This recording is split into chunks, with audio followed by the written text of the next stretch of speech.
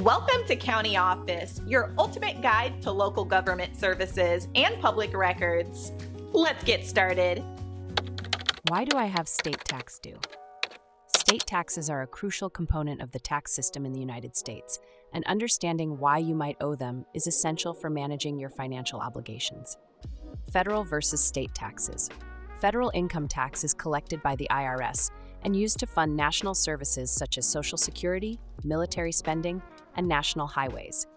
In contrast, state income taxes are collected by individual states and fund local services like education, law enforcement, and health services.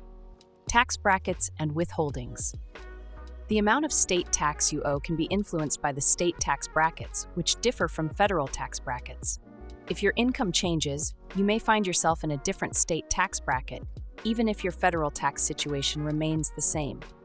Additionally, if you did not withhold enough from your income during the year, you may owe state taxes. Changes in income and life circumstances, starting a new job, launching a side hustle, or becoming self employed can all impact your state tax liability.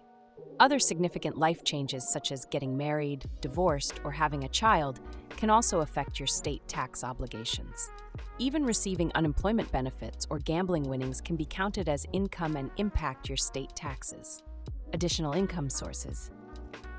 If you received Social Security benefits for the first time, or if you have capital gains from selling assets, these can also contribute to your state tax bill.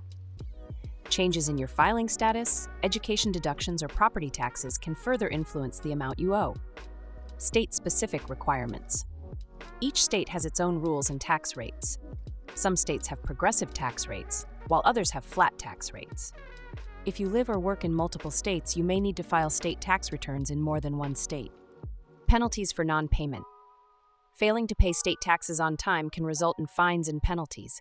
For example, in California, you could face a penalty of 5% of the unpaid tax plus plus 0.5% for each month or part of the month the liability remains unpaid. Why states need taxes. States rely on tax revenues to fund essential services, such as public schools, hospitals, and law enforcement. These taxes are a vital financial lifeline for state governments.